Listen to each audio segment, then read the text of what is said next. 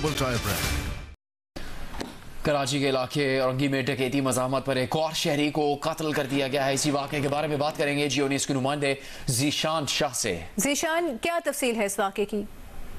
जी देखिए, बिल्कुल, ये अब से कुछ देर कबल औरंगी टाउन नंबर तेरह में गैस की दुकान के ऊपर दो मुसल्ला अपराध मौके पर पहुँचे थे और जिन्होंने मौके पर पहुँचने के बाद में शहरियों के साथ लूटमार की, वारदात की और जो ही वो जब फरार होने लगे तो शहरियों की जानब से शोर शराबा किया गया और फिर उन पथराव भी, पथराव का आगाज़ भी कर दिया गया। लोगों ने चपने भी मारी, जिसके बाद में मुलजमान ने अंधाधुन फायरिंग शुरू कर दी। फायरिंग की जद में आके दो अफराद शरीर जख्मी हुए, जिनकी शनाख्त यूसुफ अली और आबिद हुसैन के नाम से हुई है। तहम अस्पताल मुंतकली के दौरान यूसुफ हुसैन यूसुफ अली जो है अस्पताल मुंतकली के दौरान वो अपनी जान की बाजी हार गया। इस वाक़े के बाद आज सुबह भी एक ऐसा वाक़ पेश आया था जब यहाँ पे डकैती के दौरान मुजाहमत पर न्यू कराची में भी एक शख्स जाबाक हो गया था।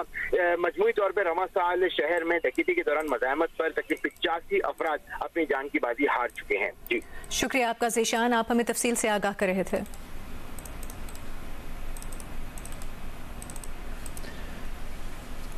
लाहौर में निजी अस्पताल के माल